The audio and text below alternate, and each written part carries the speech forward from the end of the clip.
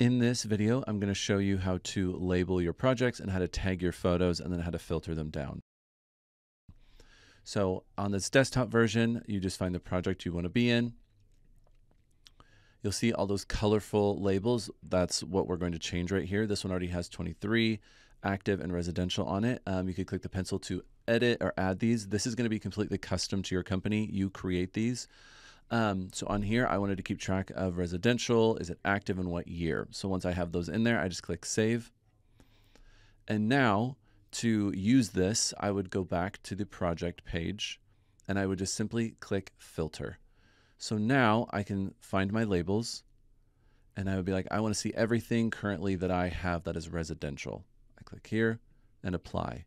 Now all I'm going to see is the four that I have labeled as residential. On the mobile device, again, I open up my project I'm looking for. You'll see that the labels are the same. Um, and then how I filter down, um, again, you just click here, first of all, to add them um, or change them. But once I'm done with that, I can come to the project or the company feed. Um, I can click where it says company feed, or at the bottom left, you can see the gray box. If you click there, you'll now have an entire feed of your projects, and you can click the filter at the bottom right, and I can click labels, and this allows me to find what I'm looking for. I'm going to say I'm looking for residential, click save,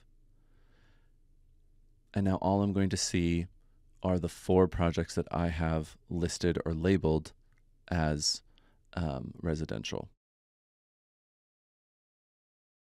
The next step I want to show you is the ability to tag photos. So we're back here on the desktop version. I open up the project I want to be in.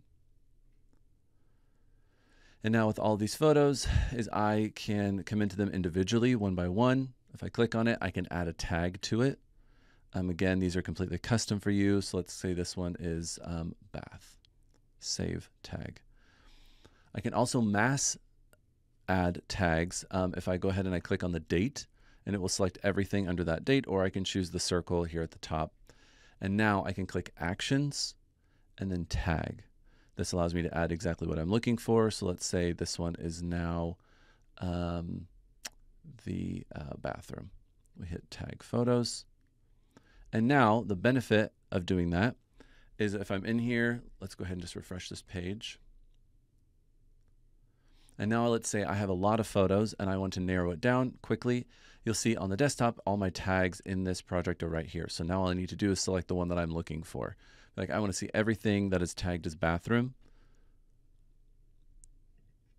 And then that's all I will see. And there's quite a few of them that were labeled as bathrooms. So let's try a smaller one.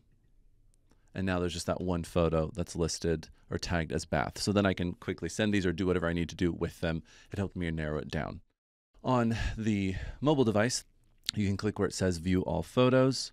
You can open up an individual photo again to just tag it individually. And if you see that price tag, as I call it, down at the bottom, um, you can choose to add one. This one already has the bathroom tag on it. I would just select what I'm looking for. Otherwise, I can um, mass tag by again clicking this check mark here. I can choose individually, I can choose the date, and then I'm looking for this three dots down here. This is the menu button. I click there, I add tag, and now I can go ahead and I can choose what I'm looking for. Let's give these ones a different one, save. And now, if I wanted to filter them down on the uh, mobile device, I would just simply use the filter at that top right, which is a funnel. And again, I would find the tag option there. And then I'm like, I want to only see everything that I tagged as bathroom. Save.